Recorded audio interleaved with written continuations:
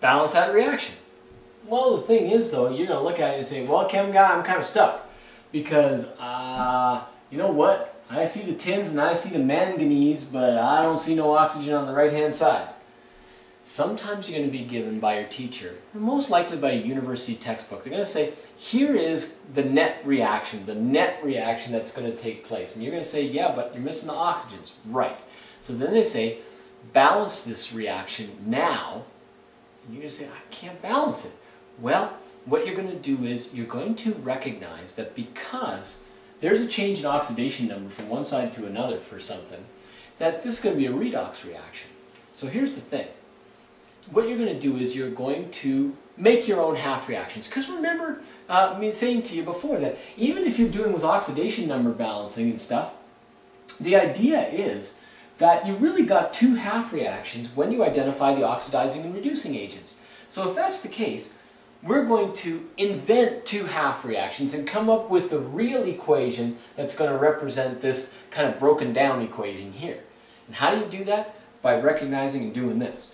That when you need to, to add oxygen, like we do here, you add water.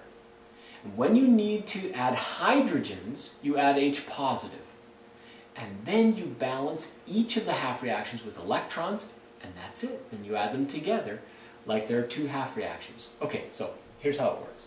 You look at this and you say, well, if I were to break this down to two half reactions, what would they be? Well, first of all, let's think about it the MnO4 negative has to make the Mn2 positive because it's got the Mn's in it. And the SN2 positive has got to make SN4 positive. Well, you know what?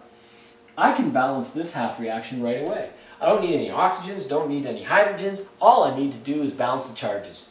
And if I've got two positives here and two electrons here, which side gets the two positives and four positives? Which side gets the electrons? It's going to be this side because two negatives and four positives makes two positive total.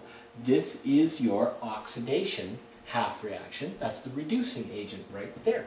Now, what is going to happen here? Well, look. So you got MNs, one and one, but you got oxygens here and none here. When you need oxygen, add water. So we're going to add water to this side. But now we've got four oxygens, so we need four waters. But what about the hydrogens? When you need to add hydrogen, add H positive. So, you need you got hydrogens here, you need hydrogens over here, you need to add H positive. How many do you need?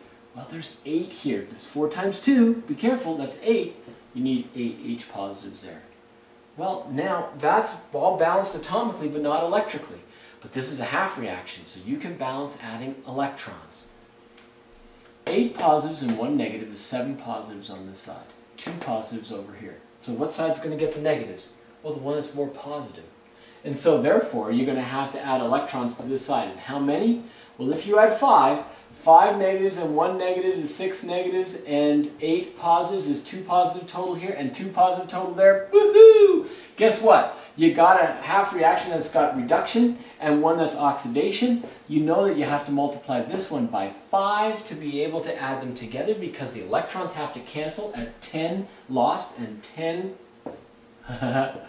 10 gained. So that looks pretty intimidating in terms of all the numbers you have to, to, to consider. But in the end, what you're going to get is you're going to get 16H positives plus 2 MnO neg uh, MnO4 negatives plus 5 SN 2 positives, and that's going to make 5 SN4 positives plus Mn2 positive plus 8 H2O. And better put that 2 there, chem guy.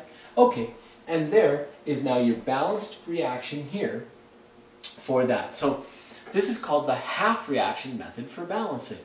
So when you need oxygen and water, hydrogen, H positive, and then balance with electrons.